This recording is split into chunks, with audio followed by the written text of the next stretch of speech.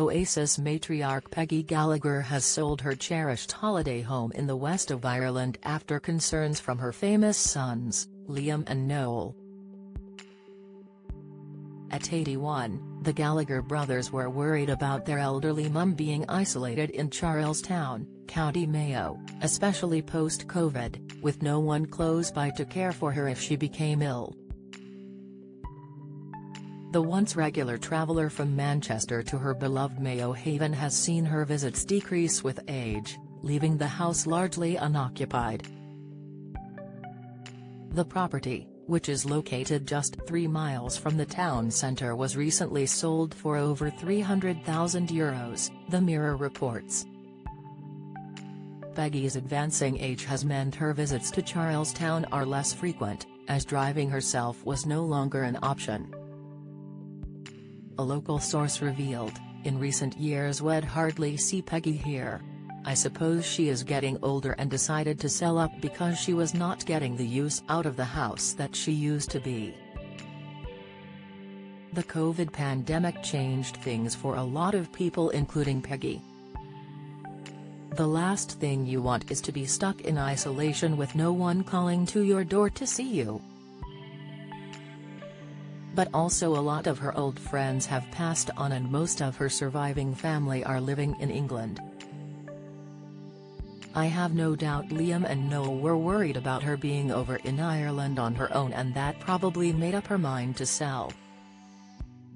It's been a few years since either Liam or Noel visited Charlestown, although their older brother Paul did make a solo trip to check up on the place.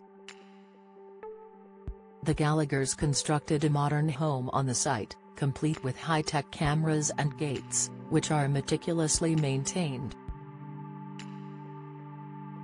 A source said, whoever bought it got a right bargain, fair play to them. Join the Daily Record WhatsApp community. Get the latest news sent straight to your messages by joining our WhatsApp community today. You'll receive daily updates on breaking news as well as the top headlines across Scotland. No one will be able to see who is signed up and no one can send messages except the Daily Record team. All you have to do is click here if you're on mobile, select Join Community and you're in.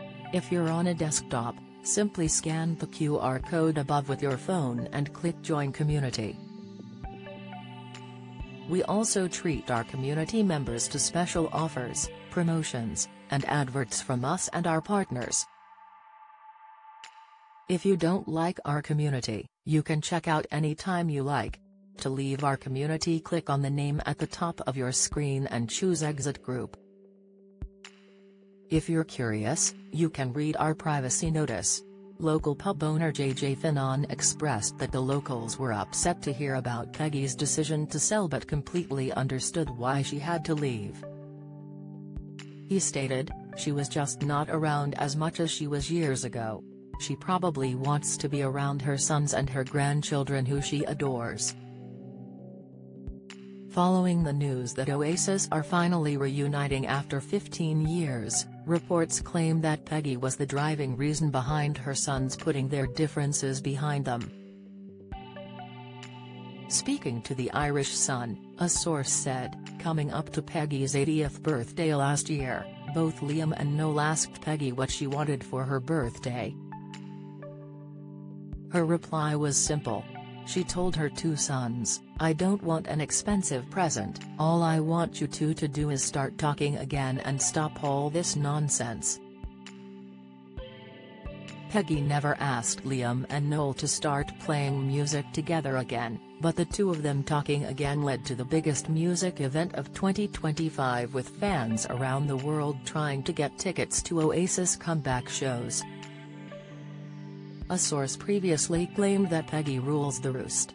Speaking about Liam and Noel's feud during the Oasis documentary Supersonic in 2016, she remarked, I think there was that bit of jealousy with Liam and Noel. Noel was beautiful as a baby and then Liam comes along, it takes the limelight off you. You could tell there was disagreement with them. I was glad they were in a band together. I would not have wanted Liam in a band without Noel but it all happened too quick.